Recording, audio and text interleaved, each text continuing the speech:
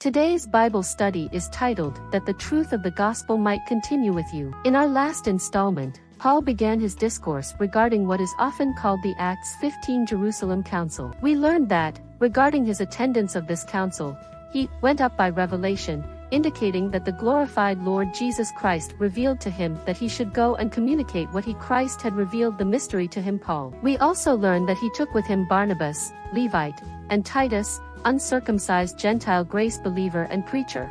And once there he communicated unto them that gospel which I preach among the Gentiles. With the them being the twelve and other leaders in the Jerusalem Kingdom Church, James the Lord's half-brother. Today, we continue with how Paul approached this communication event. But neither Titus, who was with me, being a Greek, was compelled to be circumcised, and that because of false brethren unawares brought in, who came in privily to spy out our liberty which we have in Christ Jesus, that they might bring us into bondage, to whom we gave place by subjection, no, not for an hour, that the truth of the gospel might continue with you. Galatians 2 verses 3 to 5. Let's break this down. First, we learn further of his travel companion, Titus, with Paul noting that he was a Greek, Gentile, and that he was not circumcised. This is critical because we need to remember that a major precipitating issue for the Jerusalem Council was that, in Antioch, and certain men which came down from Judea taught the brethren, and said,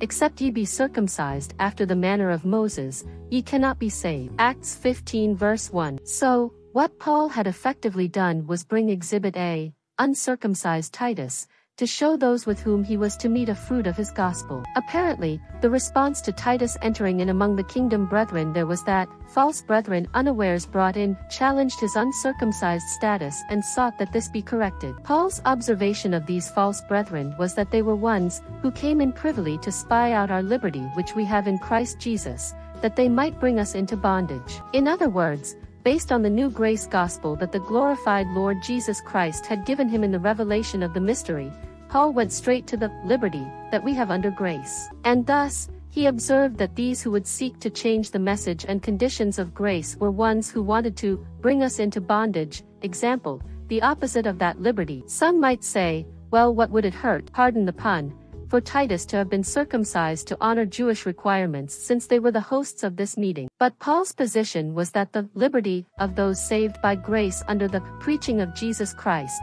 according to the revelation of the mystery, Romans 16 verse 25, was on the line and thus his answer to these false brethren was, to whom we gave place by subjection, no, not for an hour. And Paul's reason for not giving any consideration to the demands that Titus be circumcised is huge don't miss this. For Paul stood firm that the truth of the gospel might continue with you. This is an incredible statement that shows just how important it is that we not mingle law with grace nor prophecy with mystery, which is exactly what demanding circumcision and obedience of the Mosaic law does. Example, New Covenant Kingdom requirements that are not applicable to the mystery body of Christ. So, the truth of the gospel was literally at stake. Believer, stand in your blood-bought liberty and do not give place by subjection to those folks or their teachings that would preach a mixed gospel, law and grace and prophecy and mystery, so that the truth of the gospel might continue with you. Thank you for listening to this Bible study today.